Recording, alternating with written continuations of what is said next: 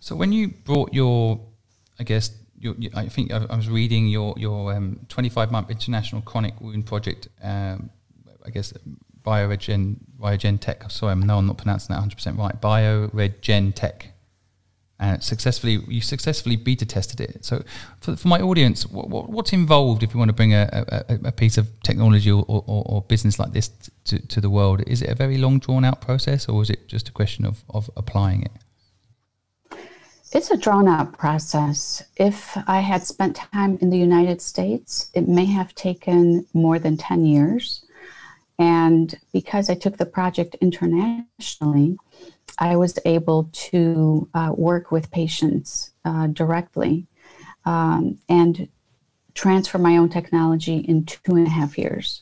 It's a very drawn out process because after you do the transfer, and for example, after now we've saved the limbs um, to bring this technology to one country or globally is, is really a lot of work because you have to scale it. You have to make sure that you are with the right um, manufacturers that could make enough of this product.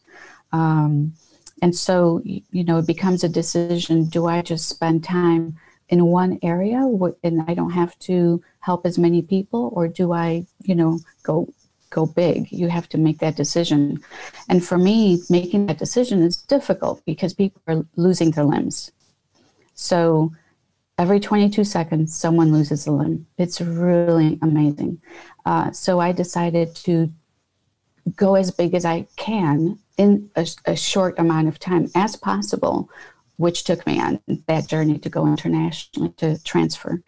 Um, so it's it's you know you get that 1% inspiration but most of it is 99% perspiration and so just i understand I, I just kind of blows my mind what you're doing you, you, you, basically people would normally have to have their limb amputated but your uh, product allows people to uh, rejuvenate their limb? Is that basically the gist of it? Yeah that's right. I mean we are regrowing bone uh, cartilage connective tissue, um, dermis, epidermis, vasculature.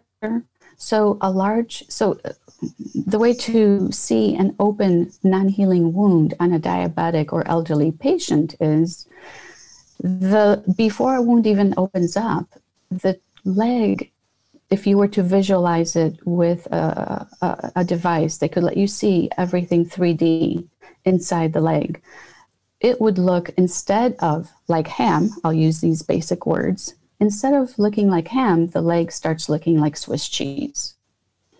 The Swiss cheese holes get bigger and bigger on a diabetic patient uh, or an elderly, elderly individual. And then eventually the hole gets as big uh, to open up the wound. And as you can imagine, a wound will not close when it's surrounded by Swiss cheese tissue.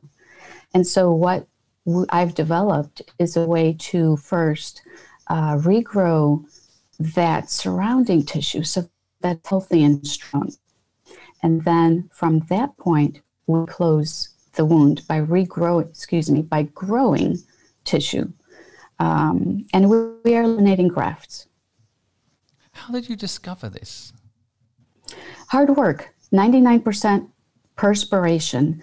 Uh, when I went internationally to transfer this technology, little did I know that the majority of the problem is circulation in these individuals to this degree.